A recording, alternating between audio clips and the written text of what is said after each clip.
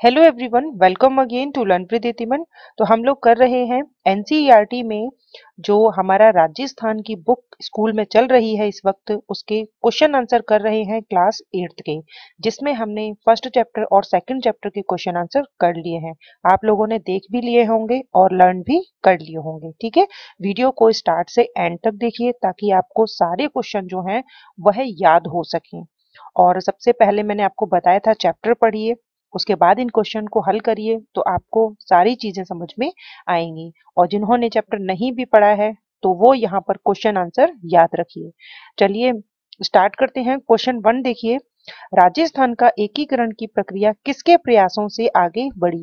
राजस्थान के एकीकरण की प्रक्रिया किसके प्रयासों से आगे बढ़ी? तो लॉर्ड लिन लिथगो के आदेश पर उन्नीस सौ उनतालीस ईस्वी में आगे बढ़ी थी। तो वायसराय जो लॉर्ड लिथगो थे, उन्हीं के आदेश पर राजस्थान एकीकरण की प्रक्रिया जो है वो आगे बढ़ी। नेक्स्ट देखें, एकीकरण से पूर्व राजस्थान में कितनी रियासतें थी, कितने ठिकाने थे और कितने केंद्र शासित प्रदेश थे? तो एकीकरण से पूर्व राजस्थान में 19 रियासतें थी, तीन ठिकाने थे। कुशलगढ़ लावा और नीमराणा। तो ये मैंने आपको याद करवाया था नकल के नाम से। न से नीमराणा, का से कुशलगढ़ और ला से लावा, ठीक है? नकल से ये तीन ठिकाने जो है वो आपको याद हो जाएँगे। और एक केंद्र शासित प्रदेश था अजमेर, मेरवाड़ा। एकीकरण से पूर्व राजस्थान की 19 रियासतें कौन कौन सी थी?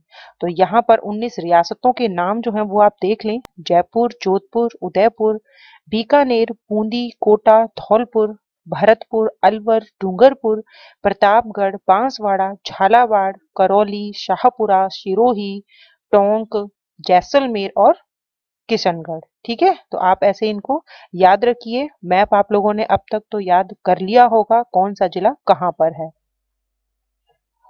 राजस्थान एकीकरण का प्रथम प्रयास किस रियासत के शासक ने किया? राजस्थान एकीकरण का जो सबसे प्रथम प्रयास किस शासक ने किया? तो कोटा के जो शासक थे महाराव भीम सिंह, इन्होंने सबसे पहले प्रयास किया था एकीकरण का। नेक्स्ट देखिए क्वेश्चन फाइव राजस्थान का एकीकरण कितने चरणों में पूरा हुआ? राजस्थान का एकीकरण कितने चरणों में पूरा हुआ?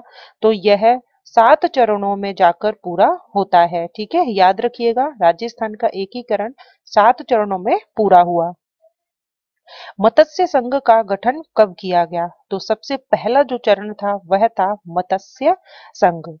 तो इसका जो गठन है, वह किया गया 18 मार्च 1948 को। याद रखिएगा, राजस्थान के एकीकरण में सात चरणों में प्रक्रिया पूरी होती है। पहला चरण मत्स्य संघ, दूसरा पूर्वी राजस्थान, तीसरा संयुक्त राजस्थान, उसके बाद चौथा वृहद राजस्थान, पांचवा संयुक्त वृहद राजस्थान। छठा जो था, वह राजस्थान संघ और सातवां जो है, अंतिम चरण वर्तमान राजस्थान के नाम से जाना गया, ठीक है? मत्स्य संघ में कौन कौन से ज़िले आते हैं? मत्स्य संघ में कौन कौन से ज़िले आते हैं? तो इसमें A B C D Alwar, Bharatpur, Dholpur, Karauli. ठीक है? तो ये चारों जो है वो मत्स्य संघ में ज़िले आते हैं। और यहाँ पर अलवर जो है, राजधानी रही मत्स्य संघ की। मत्स्य संघ में राज प्रमुख और प्रधानमंत्री किसे नियुक्त किया गया? तो देखिए, मत्स्य संघ से जो है क्वेश्चन आपके एग्ज़ाम में पूछा भी गया था, ठीक है? और रीट है सेकंड ग्रेड है फ़र्स्ट ग्रेड है तो वहाँ पर राजस्थान के एकीकरण से एक क्वेश्चन तो हर बार पूछा ही जाता है।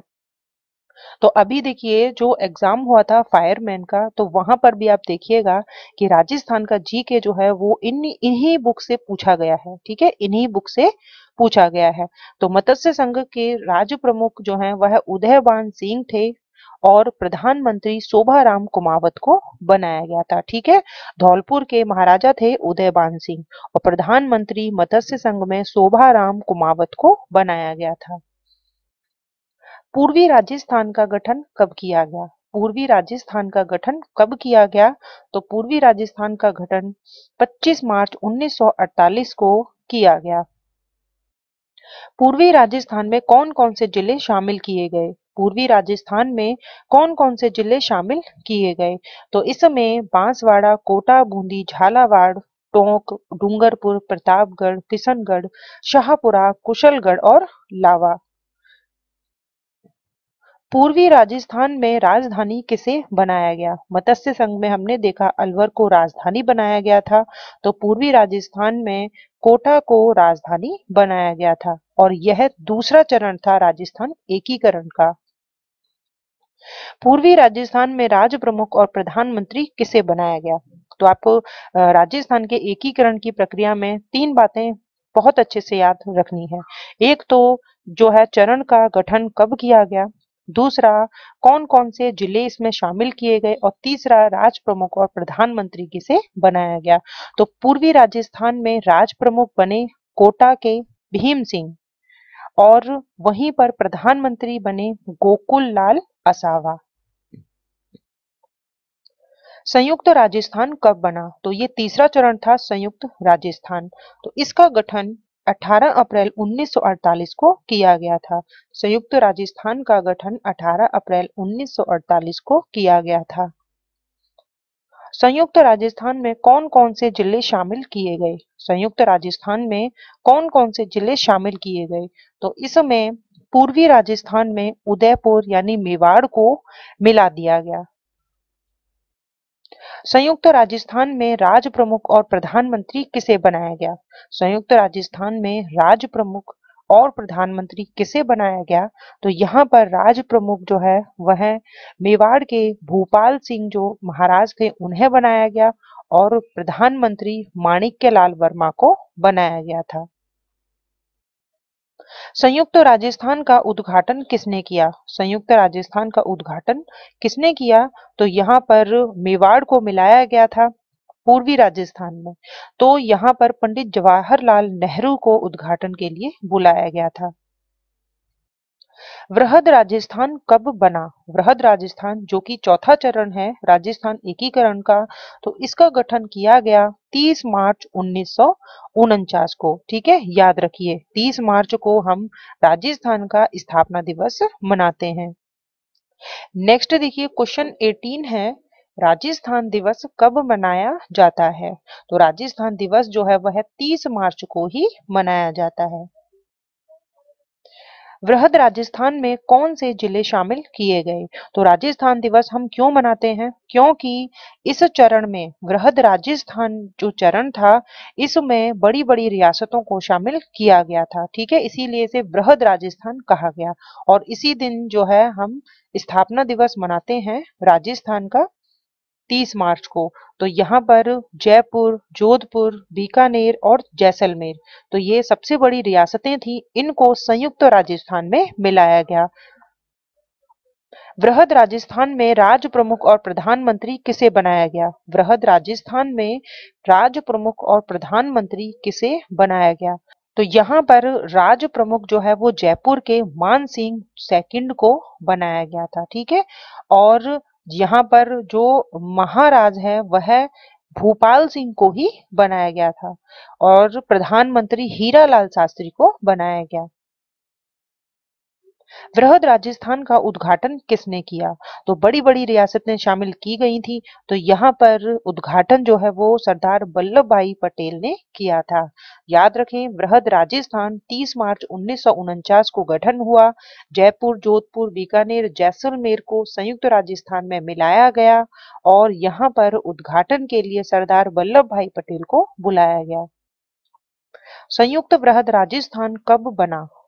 संयुक्त वृहद राजस्थान, जो कि एकीकरण का पांचवा चरण कहलाता है तो इसका गठन 15 मई उन्नीस सौ उनचास को किया गया था। संयुक्त वृहद राजस्थान में कौन कौन से ज़िले शामिल किए गए? संयुक्त वृहद राजस्थान में कौन कौन से ज़िले शामिल किए गए? तो इसमें मत्स्य संघ को वृहद राजस्थान में मिला दिया गया। ठीक है, मत्स्य संघ को हमने अभी तक कहीं पर भी नहीं मिलाया था, जहाँ अलवर, धौलपुर, भरतपुर, करौली, ये चारों ज़िले जो हैं वो अलग थे तो इनको भी वृहद राजस्थान में मिला दिया गया। राजस्थान के एकीकरण में छठवां चरण कौन सा है?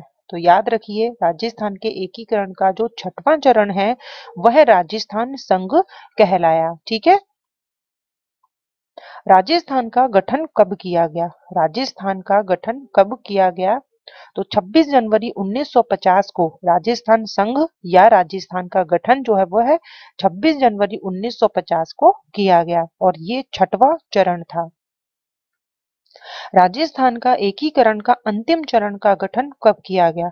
तो अंतिम चरण में वर्तमान राजस्थान हमारा आ जाता है सामने और ये सातवां चरण था। जो कि 1 नवंबर 1956 को इसका गठन हुआ। तो याद रखें कि 18 मार्च 1948 से राजस्थान का एकीकरण जो है वो प्रारंभ होता है और 1 नवंबर 1956 को पूरा होता है। राजस्थान के एकीकरण में जो सातवां चरण था उसमें कौन कौन से ज़िले शामिल किए गए? तो यहाँ पर अब जो है आबू और देलवाड़ा, जो कि छठे चरण में इनको नहीं मिलाया गया था। सिरोही को मिला दिया गया था आबू देलवाड़ा को छोड़कर। तो सातवें चरण में आबू देलवाड़ा को मिला दिया गया। केंद्र शासित प्रदेश जो अजमेर मेरवाड़ा था, उसे मिला दिया गया। मंदसौर का सुनेल टप्पा, जो कि मध्य प्रदेश के क्षेत्र में आ रहा था, उसे मिलाया गया, जिससे एकीकरण की प्रक्रिया पूरी हो गई। तो यहाँ पर हमने थर्ड चैप्टर जो है, आधुनिक राजस्थान का निर्माण, इसके हर क्वेश्चन जो है वो कर लिए हैं। जितने भी पैराग्राफ में, जितने भी क्वेश्चन बन सकते थे, वो सभी मैंने यहाँ ले लिए हैं। कुल मिलाकर 27 क्वेश्चन जो है, इस चैप्टर में से निकल कर आए हैं। बहुत ज़्यादा इंपॉर्टेंट है, बहुत बहुत ज़्यादा। आप लोग एक भी क्वेश्चन जो है वो मिस ना करें।